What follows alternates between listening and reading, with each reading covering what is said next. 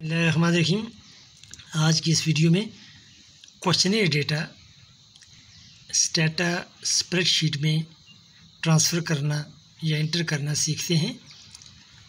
इस मकसद के लिए आप डायरेक्ट बी स्टेटा स्प्रेडशीट में डेटा इंटर कर सकते हैं, या फिर अगर आपने डेटा एक्सेल स्प्रेडशीट में सेव किया हुआ है तो वहाँ से भी कॉपी करके पेस्ट कर सकते हैं, या फिर उसको इंपोर्ट भी किया जा सकता है।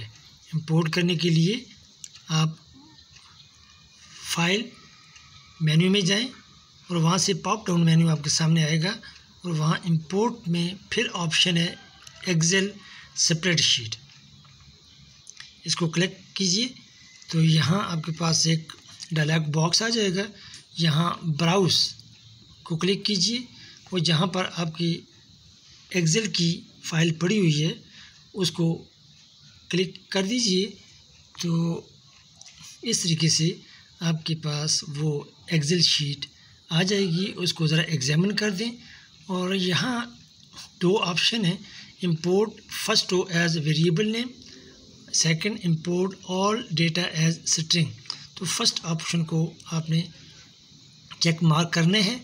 क्योंकि अगर आप ऐसा नहीं करेंगे तो फिर सारा डेटा स्ट्रिंग वेरिएबल के तौर स्ट्रिंग डेटा के तौर पर अपीयर होगा, जिसकी कैलकुलेशन और एनालिसिस फिर नहीं हो सकता।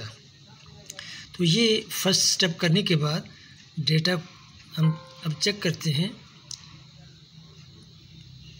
ये हमारे पास डेटा राइट हैंड साइड पर हम देख सकते हैं कि इस विंडो में जो वेरिएबल विंडो है, याद रखें स्टेटा इंटरफेस की पाँच विंडो हैं।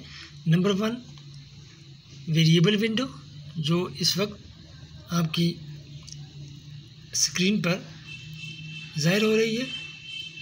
इसके अलावा इससे बिल्कुल नीचे वेरिएबल की प्रॉपर्टी विंडो है और लेफ़्ट साइड पर जहाँ इस वक्त कर्सर है, ये रिज़ल्ट विंडो है और रिज़ल्ट विंडो के बिल्कुल बॉटम में कमांड विंडो जहाँ पर हम कमांड लिखते हैं, और फिर लेफ़्ट साइड पर अगर आप देखें तो ये रिव्यू विंडो रिव्यू विंडो है, जहाँ जो कमांड हम एग्जीक्यूट करते हैं, वो यहाँ पर सारी लिस्ट हो जाती हैं।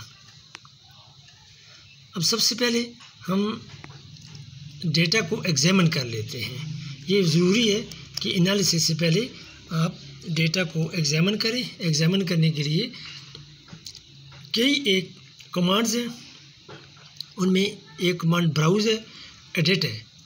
तो मैं ब्राउज़ की कमांड से इसको इंस्पेक्ट करता हूँ। तो देखिए कि हमारे पास जो डेटा है, ये स्टेटा की स्प्रेडशीट में अपीयर हो गया है। यहाँ आप देख सकते हैं कि सीरियल नंबर है जेंडर है एज है कॉलेज है क्लास है question one question two question three question four तो ये क्वेश्चनर से डेटा यहाँ इंसर्ट किया गया है। तो देखते हैं कि हमारे क्वेश्चनर में कौन कौन से क्वेश्चन हैं।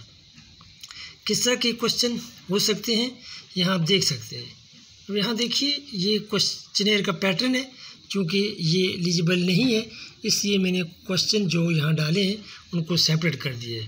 यानी एज ऑफ़ रिस्पोंडेंट अब चूँकि ये क्वेश्चनर स्टूडेंट्स के लिए तैयार किए गए हैं और डेटा भी स्टूडेंट से बीएस के स्टूडेंट से कलेक्ट किए गए हैं किसी भी यूनिवर्सिटी या कॉलेज से। तो इसलिए जो क्वेश्चन है, वो ये है कि age of student gender of student college और यूनिवर्सिटी जिसमें वो पढ़ रहे हैं और एजुकेशन लेवल और फिर उसके बाद आगे क्लास फिर उसके बाद ये क्वेश्चन है, जो लाइकड स्केल क्वेश्चन है, जिनके पाँच ऑप्शन होते हैं। Strongly agree agree dis different disagree और स्ट्रांगली डिसग्री बाद अवत सेवन भी हो सकते हैं, तीन भी हो सकते हैं। और क्वेश्चन क्वेश्चनर में यस नो वाले, यानी डाइकोटनमस क्वेश्चन भी होते हैं। सो मैंने सिर्फ़ ये क्वेश्चन सिर्फ़ एग्ज़ाम्पल के तौर पर डाले हैं। तो अब इसके अलावा क्वेश्चन कौन से हैं? I am satisfied with the methodology of teacher आगे वही ऑप्शन है स्ट्रांगली एग्री एग्री वाला। उसके बाद I am satisfied with the behaviour of teacher और उसके बाद आप देखिए, एक और क्वेश्चन दो क्वेश्चन और हैं। I am satisfied with the class management of teacher और last question I would like to switch to another university ये तो हुए हमारे क्वेश्चन जो कि क्वेश्चनर में हम शामिल, हमने शामिल किए हुए हैं। इसके अलावा और भी मुख्तलिफ़ किस्म के क्वेश्चन हो सकते हैं। आज इनकी ज़रा प्रैक्टिस कर लेते हैं। तो अब आते हैं जी, हम वेरिएबल्स को मैनेज करना। कैसे हम वेरिएबल को मैनेज करते हैं? डेटा को कैसे एंटर करते हैं? सबसे पहले यहाँ आप जाएँगे वेरिएबल मैनेजर में। ये टूल है। एक और ऑप्शन से भी आप ऐसा कर सकते हैं डेटा ऑप्शन से, लेकिन ये ज़रा इजी है सो मैं इसलिए इसको तो नंबर वन ये डेटा ये जो है वेरिएबल मैनेजर आ गया तो यहाँ आप जिस वेरिएबल पर क्लिक करेंगे तो उस वेरिएबल को आप मैनेज कर सकते हैं। मैंने जेंडर को यहाँ क्लिक किए तो आप देख सकते हैं कि नेम में जेंडर आ गया और उसके बाद लेबल में भी जेंडर है। तो आप लेबल को चेंज कर सकते हैं। यहाँ जेंडर ऑफ़ स्टूडेंट अब ये ज़रूरी है इसलिए कि अब लेबल हमें ये बताते हैं कि ये डेटा जो है वो कहाँ, किस से कलेक्ट किया गया है, किस जो है कैटेगरी से कलेक्ट किया गया है। तो अब चूँकि ये स्टूडेंट से कलेक्ट किया गया है डेटा इसलिए जेंडर में हमने क्या लिख लिया? जेंडर ऑफ़ स्टूडेंट इसको जब हम अप्लाई करेंगे तो जो लेबल है वो चेंज हो गया। यहाँ आप राइट साइड की जो वेरिएबल विंडो है। यहाँ आप देख सकते हैं कि जेंडर नेम और लेबल के सामने जेंडर ऑफ़ स्टूडेंट आ गया। इसी तरीके से अब हम आते हैं। इसको पहले, क्योंकि जेंडर को हमने दो कैटेगरीज में तब्दील करने हैं मेल और फीमेल में, लिहाजा पहले इसको हम मैनेज कर लेते हैं। तो इसकी मैनेजमेंट के लिए हम सबसे पहले मैनेज पर जाएँगे। मैनेज पर जब जाएँगे तो इस तरह की एक विंडो अपीयर होगी, जिसमें क्रिएट वेरिएबल को हम ऑप्शन देंगे। क्रिएट वेरिएबल अब यहाँ पर हमने लेबल देने हैं। लेबल चूँकि जेंडर है, मैं इसको मेल फीमेल के नाम से लेबल कर लेता हूँ। अब वैल्यूज़ देनी है। वैल्यूज़ में वन वन में मेल, इसको ऐड कीजिए, अब फिर two female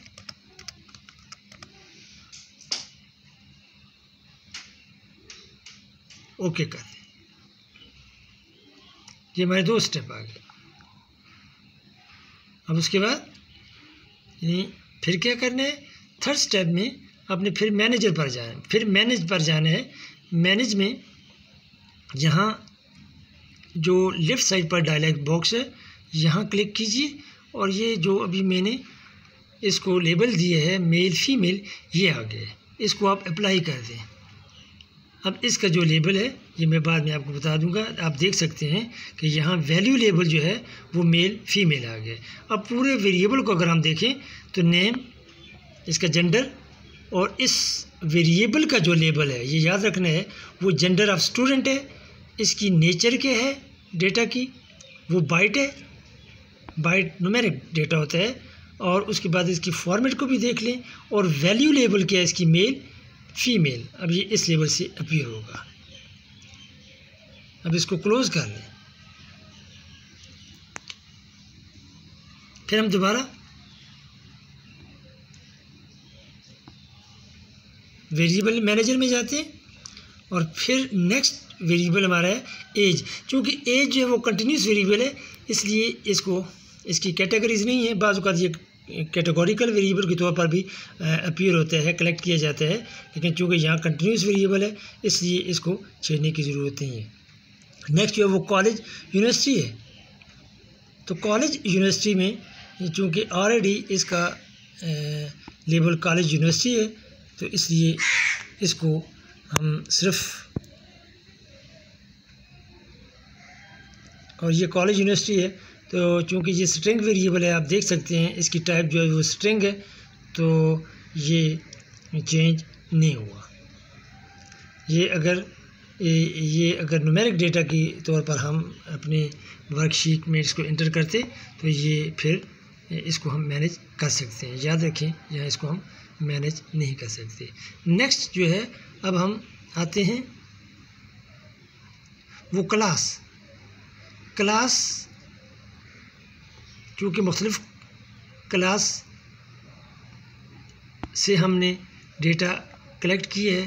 Class of, class in which student is studying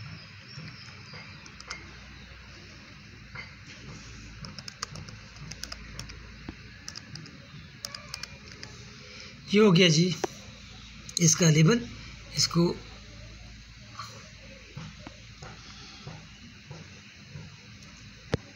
apply कीजिए और फिर उसके बाद आप मैनेज पर आएँ। अब चूँकि इसकी कैटेगरीज हैं, इसलिए क्रिएट लेबल में यहाँ इसको हम लेवल लेबल लेवल कर लेते हैं लेवल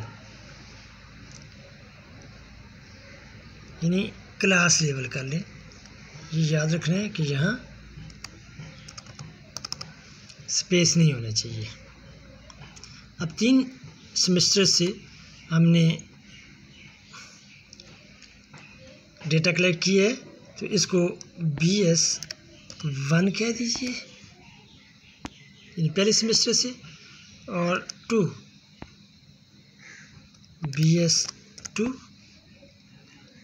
three को लेबल बी एस थ्री कर दीजिए। इसी तरीके से आप मेंशन कर सकते हैं कि आया ये कौन सा डिपार्टमेंट है, कौन सा डिसिप्लिन है तो लेबल में आप उसको भी मेंशन कर सकते हैं। इसको ऐड कीजिए और आखिर में ओके कर दें। इसको क्लोज़ कीजिए।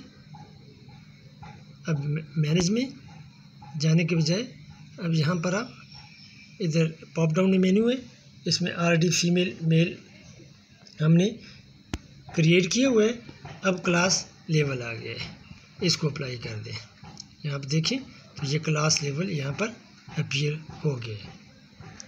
अब आते हैं हम मोस्ट इम्पोर्टेंट पार्ट की तरफ़, कि क्वेश्चन जिनके जो ऑप्शन हैं, जो रिप्लाई हैं वो फाइव कैटेगरीज में है लिकड स्केल में है यानी agree strong agree indifferent disagree या स्ट्रॉन्गली डिसएग्री तो अब इसको आप सेलेक्ट कीजिए।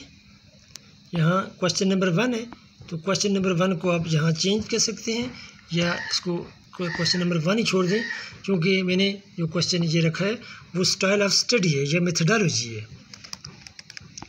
कि मेथड जो टीचर का है, वो सेटिस्फैक्ट्री है या नहीं है, और लेबल यहाँ इसको क्यू वन छोड़ दें या इसको भी चेंज कर दें कि टीचिंग स्टाइल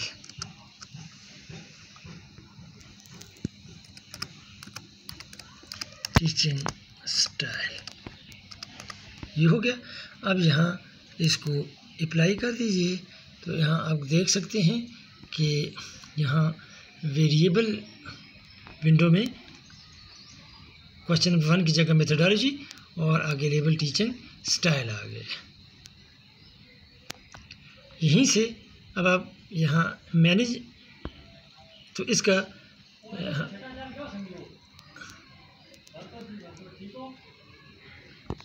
नेक्स्ट क्वेश्चन की तरफ़ आते हैं।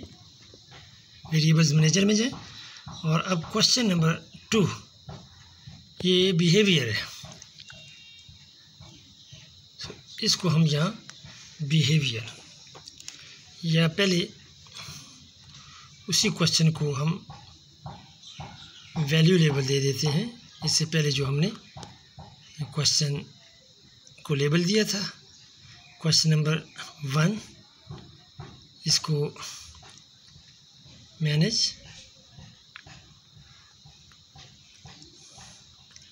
क्रिएट लेबल और इसको हमने नाम क्या देना है? कि लाइकड लाइकड स्केल सो इसको मैंने पहले वैल्यू लेबल नहीं दिया हुआ था। पहले इसको कंप्लीट करते हैं, फिर नेक्स्ट जाते हैं। One strongly agree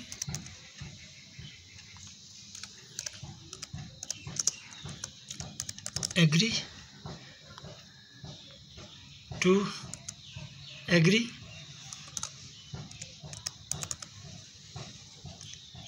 three आ जाएगा इनडिफरेंट के लिए।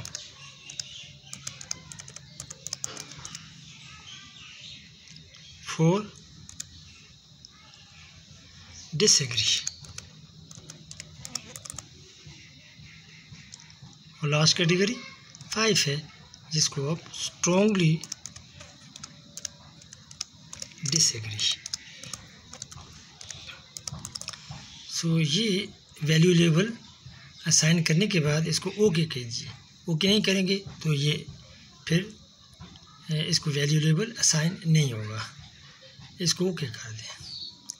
अब नेक्स्ट क्वेश्चन टू ये देखिए क्वेश्चन नंबर वन के सामने अभी तक जो वैल्यू लेबल है, ये नहीं आया। सो इसको दोबारा करना पड़ेगा क्योंकि ये मैनेज आगे, लाइकर आगे तो अब क्वेश्चन नंबर टू में क्वेश्चन नंबर टू जो है, ये है बिहेवियर बिहेवियर ऑफ़ स्टूडेंट इसको लेबल दे दीजिए।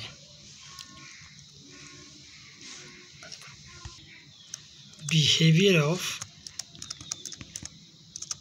of teacher other क्योंकि टीचर के बारे में क्वेश्चन है। इसको अप्लाई कर लें। हमारा लेबल भी चेंज हो गया और नेम ऑफ़ वेरिएबल भी चेंज हो गया। अब यहाँ से मैनेज अब यहाँ मैनेज करने की ज़रूरत नहीं है क्योंकि इसको हमने अलग से वैल्यू लेबल नहीं देना, बल्कि पहले वाला जो लाइकट स्केल है, ये चूँकि उसी तरह का वही इसकी काइंड है सो इसको हम अप्लाई कर देते हैं। सो यहाँ पर भी लाइकट आ गया। और उसके बाद अगले क्वेश्चन के सिर्फ़ आपने नाम चेंज करने हैं। नाम को हम, नाम हमने क्या दिया हुआ है? इसको क्लास मैनेजमेंट के टीचर की क्लास मैनेजमेंट से आप सेटिस्फाइड हैं या नहीं? है इसको क्वेश्चन नंबर थ्री ही छोड़ देते हैं। अब यहाँ फिर दोबारा आप इसको लाइक कट करेंगे सो अप्लाई कर दें।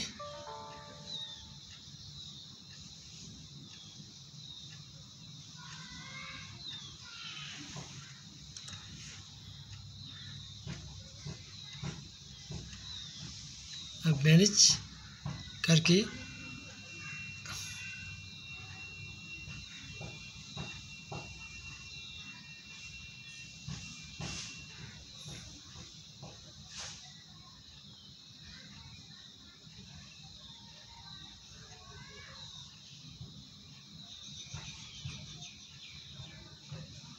सो अब question number three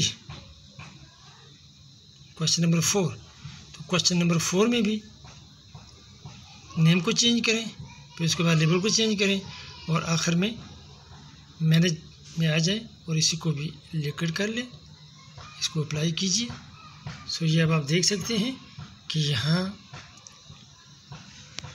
वेरिएबल का नेम चेंज हो गया लेबल चेंज हो गए और उसके बाद उसकी टाइप सबकी एक ही है। माँ सवाई कॉलेज यूनिवर्सिटी यानी फोर्थ हमारा जो वेरिएबल है, वो स्ट्रिंग वेरिएबल है। उसके बाद फॉर्मेट और लास्ट में जो वैल्यू लेबल जो अभी हमने असाइन किए हैं, ये आ गए हैं। तो अब ज़रा हम इनको अपने डेटा को देखते हैं। यहाँ जैसे कि मैंने कहा कि डेटा एडिटर में आप आएँ एडिट या ब्राउज़ की कमांड से इसको आप देख सकते हैं। तो अब वही डेटा जो इससे पहले हमने देखा था उसमें आप देख सकते हैं कि तीन तरह से डेटा इंट्रीज अपीयर हो रही हैं। एक रेड स्ट्रिंग वेरिएबल होता है। देखिए, यहाँ मैं अगर किसी पर क्लिक करूँगा तो ऊपर जो नाम आएगा, वो वो स्ट्रिंग वेरिएबल आएगा। लेकिन यहाँ दूसरा जो है, वो ब्लू है। ये ब्लू बज़ाहिर स्ट्रिंग वेरिएबल नज़र आ रहे हैं, लेकिन इनफैक्ट ये नुमेरिक डेटा है। ये नॉन नुमेरिक डेटा नहीं है। तो जब भी नुमेरिक डेटा को हम टेक्स्ट फॉर्म में लिखते हैं तो वो ब्लू फॉर्म में अपीयर होगा। यहाँ देखें बी एस वन वन है। इसी तरह एग्री एग्री के लिए आपको पता है कि हमने टू जो है, उसको ऑप्शन दिया था। और लास्ट में जो ब्लैक एंट्रीज़ हैं, ये नुमेरिक डेटा के लिए होती हैं। Thank you very much